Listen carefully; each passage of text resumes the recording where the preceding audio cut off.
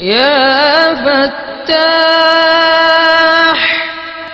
اے بہت بڑے مشکل کشا، جو شخص نماز فجر کے بعد دونوں ہاتھ سینے پر باندھ کر ستر مرتبہ یا فتاح پڑھا کرے گا، انشاءاللہ اس کا دل نور ایمان سے منور ہو جائے گا۔